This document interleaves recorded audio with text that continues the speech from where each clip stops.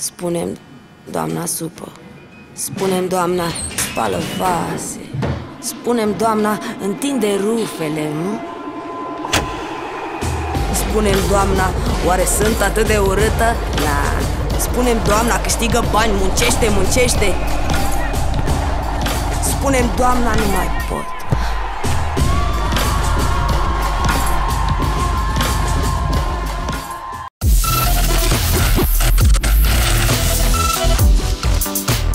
Bună seara, sunt Sabin Tudor și vă prezint cele mai importante știri din lumea mondenă.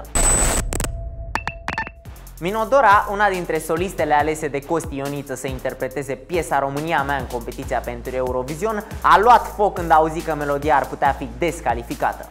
La TVR s-a întrunit deja o comisie de specialitate, după ce a apărut o sesizare cum că piesa a fost lansată de Costi Ioniță în 2004, dar într-o altă orchestrație.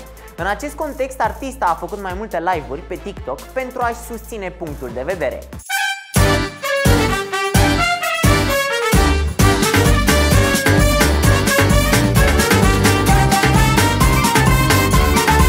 După ce a ajuns în finala Eurovision România, Minodora s-a confruntat cu un val de critici. Urmăritorii de pe rețelele de socializare au început să-i trimită diverse mesaje, prin care îi contestă inclusiv calitățile vocale. Un internaut chiar i-a transmis, dacă erai bună și aveai voce și glas, erai aleasă. Când praf. Mesajul a deranjat-o extrem de mult pe artistă, care a avut o reacție vehementă. Ceea ce fac, iubesc ceea ce fac, sunt născută și nu pot, am spus întotdeauna, vă zic așa și vouă, așa o chestie a mea personală, că am spus întotdeauna că ferească Sfântul Dumnezeu dacă mi se întâmpla ceva la voce și aș rămâne mută, să nu mai pot cânta, probabil că la un moment dat m-aș putea obișnui cu ideea că nu mai pot cânta. Dar dacă eu n-aș mai putea să aud muzică, să ascult muzică, dragii mei prieteni, că vă spun așa cu toată sinceritatea, să nu mai aud muzică pentru mine, finalul meu ca om, finalul meu, ar să mai pot să aud muzică.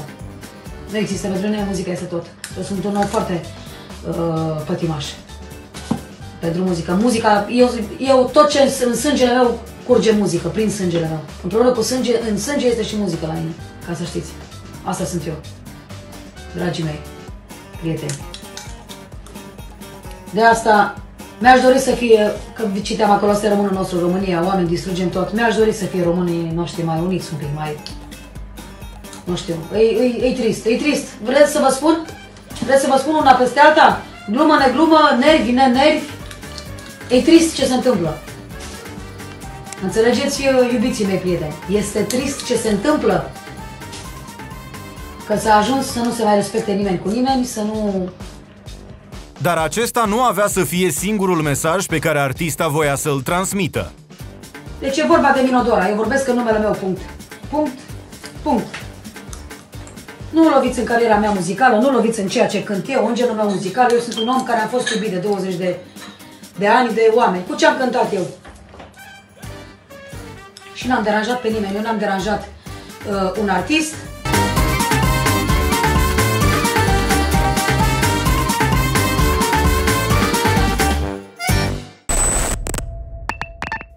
Provine dintr-o familie în care credința a fost mai presus de orice. Însă, cu toate acestea, Elena Gheorghe dezvăluie că au existat momente în care a înțeles greșit cum lucrează Dumnezeu.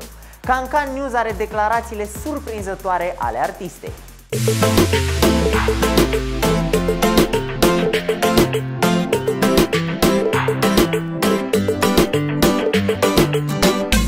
Elena Gheorghe este fică de preot, iar de-a lungul anilor a fost obișnuită să fie un adevărat model, acasă, dar și în societate. Poate tocmai din acest motiv are o carieră fără turbulențe și o căsătorie trainică. Artista susține însă că au existat și încă există momente în care lucrurile nu sunt atât de așezate și clare precum par. Încă mai am momente când cred că tot ce mi se întâmplă este din cauza cuiva și când mi-e mai ușor să dau vina pe altcineva.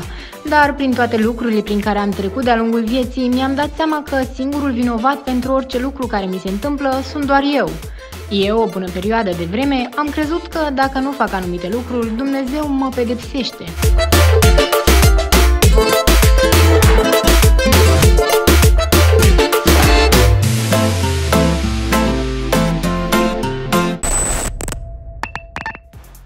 Neamărin a intrat și mai mult în atenția publicului după ce, vreme de 12 sezoane, a fost pionul principal al mai multor proiecte de la Antena 1. Dansul l-a ajutat de la bun început să ajungă în această poziție, dar și să-și câștige existența. Nu a fost însă mereu așa. Nebunul, așa cum îl numește Liviu Vârciu, dezvăluie că la un moment dat viața l-a împins să practice și o altă meserie. Cancan News are toate detaliile.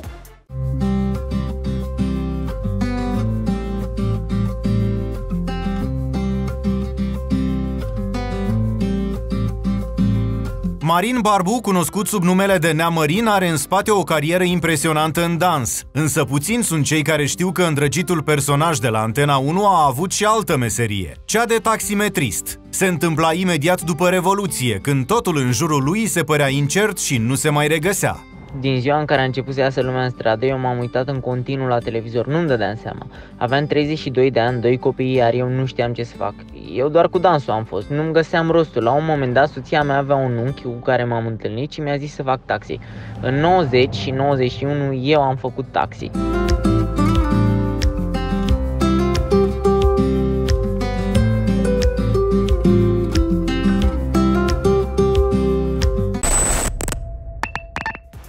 Rămâneți pe cancan.ro pentru a fi la curent cu toate noutățile din lumea mondenă. Până la următoarea noastră întâlnire, la revedere!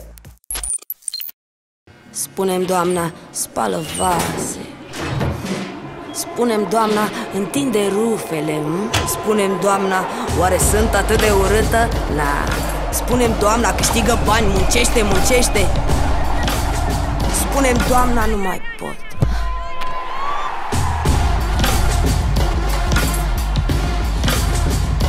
Punem doamna mijlocaș.